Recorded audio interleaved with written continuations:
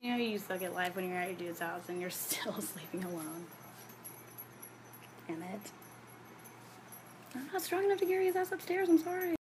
Like, I tried throwing stuff at him and, like, hitting him and all kinds of stuff and he won't get up. I bet if I told you I was leaving, he'd be like, what? No, I'm not asleep though. He's had to deal with me drunk before, but at least I apologized the next day and I went where I was supposed to go.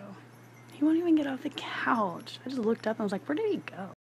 45 minutes into talking to his friends, I'm like, did he fucking die? Like, he went inside a long time ago. Like, what is he doing? I low key, like, don't even want to go to sleep now, but I'm like, I know I have to.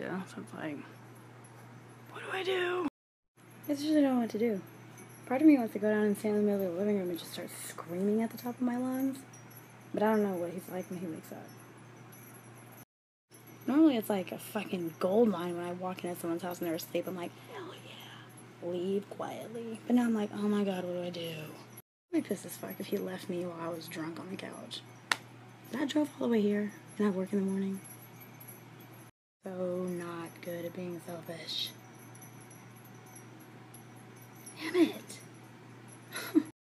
any like average female would be pissed as fuck at this right now, but I just like can't help but laugh and it's like shit.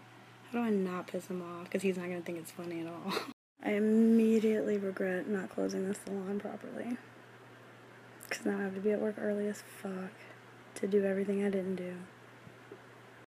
Like half of my brain is thinking like you have to work tomorrow, and half of my brain is thinking how do you get best girlfriend of the year award? Like I have never known how hard he can sleep. Like Jesus could come to take us all home, and this fool would still be like, mm no. Sleeping with his face inside of his hat, like you can't see me. Go away. Too early in the relationship to see if he's like really ready for my immaturity, because I'll go stack him and fucking antique him right now. Graffiti. Yeah, right. I'm not gonna touch him because every time I think I'm gonna be funny, people are like, "What the fuck is wrong with you? Grow up." I'm like, "Oh." be mad about it. Touche. Waiting for that person that's like, oh, okay, you got jokes. It makes revenge funny instead of like evil as fuck. Like, that's not funny. That's just mean. Like, I told him I was mad at him for putting a picture of me drunk and passed out on Snapchat. He was like, I went and deleted it. There's no one important on my Snapchat. I'm like, oh my god, I'm fucking kidding. Shit. Take myself seriously enough to get mad when people catch me slipping. I'm like, okay, I got you next time. And just know that. I got you. You wait. When it comes to pranks, I'm like a crackhead in a street fight. I ain't backing down for shit. But I don't think we're there yet.